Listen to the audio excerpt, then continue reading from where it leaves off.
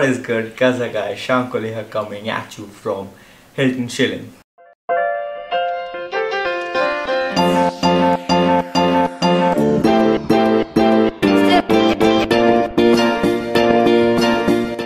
Just in case अगर आप ये सोच रहे हैं कि ये एक ट्रैवल व्लॉग है just like my last Hilton Shillim video तो ऐसा नहीं है आज मैं सिर्फ़ बैठ के आपसे बात करने वाला हूँ। और अगर आपको हिल्टन शिलम का ट्रैवल व्लॉग देखना है तो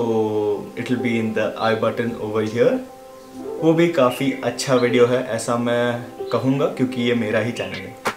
तो हम लोग यहाँ पे आए हैं for my dad's birthday for a tiny vacation of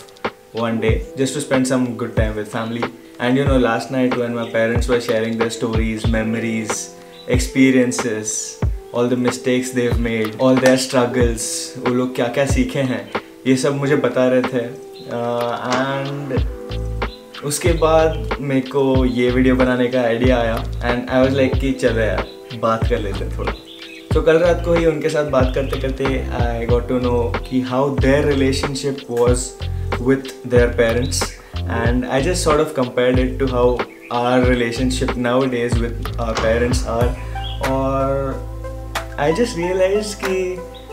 most of the time we always take our parents for granted mom dad जब भी कोई अच्छी चीज़ करते हैं हमारे लिए इट इज़ ऑलवेज लाइक कि हाँ they're suppose to do it they're our parents right we generally do not thank them enough for whatever they do. Also, when there's an option to plan something with parents, yeah, friends, we kind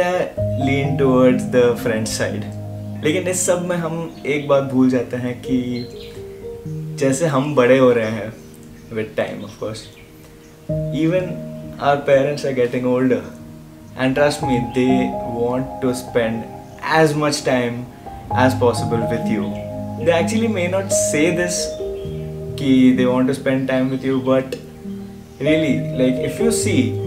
you are literally all they have they always want कि आपके साथ हमेशा अच्छा ही हो। You reach new heights new successes and every single thing that they do is for you so अभी घुमा फिरा के बातें नहीं करता हूँ, सीधा पॉइंट पे आता हूँ। So in this tiny video I just want tell you go hug your parents tell them how much they mean to you tell them how much you love them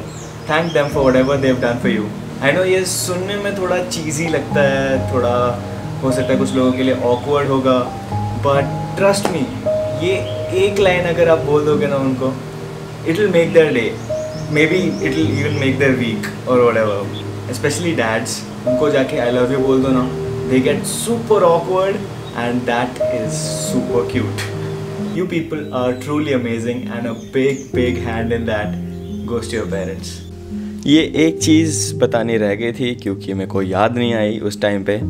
वो है ये कि जैसे कोई भी अगर आपके लिए कुछ करता है they expect something in return